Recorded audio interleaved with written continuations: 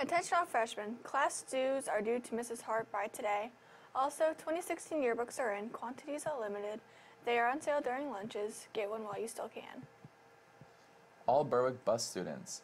May 31st and June 1st through June 3rd, Berwick students will be dismissed at noon.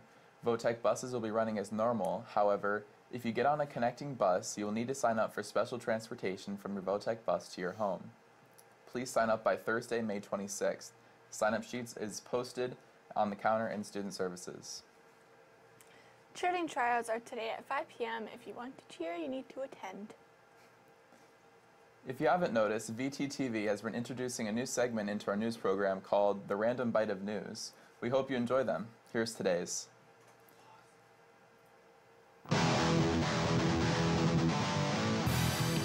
Basketball shot from a skyscraper.